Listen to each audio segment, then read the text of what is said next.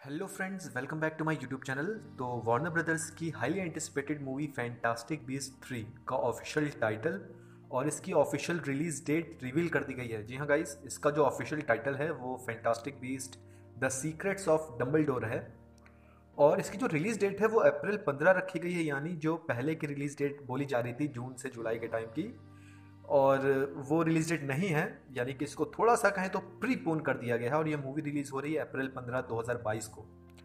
अब इसका जो फ़र्स्ट पार्ट था fantastic beasts where to find them वो काफ़ी ज़्यादा सक्सेसफुल रहा था बॉक्स ऑफ़िस पे, लेकिन इसका जो सेकंड पार्ट था क्राइम्स ऑफ़ ग्रेंडल वर्ल्ड उसे क्रिटिक्स ब्लॉगर्स और यूट्यूबर्स ने नेगेटिव रिव्यू दिए थे, जिस वजह से उसका बॉक्स ऑफ़िस थोड़ा सा इफ़ेक्ट हुआ था।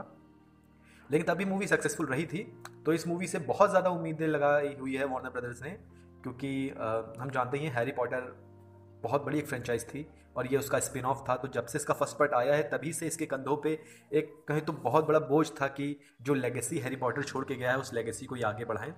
और बहुत सी कंट्रोवर्सी से तो वैसे भी ये मूवी गुजर चुकी है, क्योंकि हम जानते ही हैं कि पेंडेमिक की वजह से कई बार इसकी फिल्मिंग को रोका गया, कई बार कहें तो पोस्टपोन हुई मूवी और जॉनी डिप जो ग्रिंडल वर्ल्ड का रोल कर रहे थे तो उनका और एम्बर हर्ट की जो कंट्रोवर्सी हुई थी, उस वजह से वार्नर ब्रदर्स के जो उस टाइम के एग्जीक्यूटिव थे, उन्होंने उनसे कहा था कि आप रोल से स्टेप डाउन कर दीजिए। उनके बाद मैट निकल्सन को बुलाया गया, जो हैनिबल फेम है। तो मैं तो काफ़ी ज़्यादा इंटरेस्टिंग उसको देखने के लिए, और ये मूवी सक्सेसफुल रहती तो डेफिनेटली हमें ये सुनने में आया था कि इस फ्रेंचाइज के फाइव पार्ट्स होंगे। लेकिन ये भी रिपोर्ट्स आई थी कि अगर मान लीजिए मूवी सक्सेसफुल नहीं होती बॉक्स ऑफ़िस पे तो वार्नर ब्रदर्स ने इस मूवी को इस तरीके से डिज़ाइन किया गया है कि ये मूवी बाकी दोनों पार्ट्स के साथ एक ट्रायोलॉजी की तरह भी काम कर सकती है। यानी ऐसी रिपोर्ट्स आई थी। लेकिन बहरहाल गाइज़ मैं तो यही चाहूँगा कि पाँचों पार्ट हमें देखने को मिले, जो जेके रोलिंग का जो पूरा विजन है वो हमें देखने को मिले।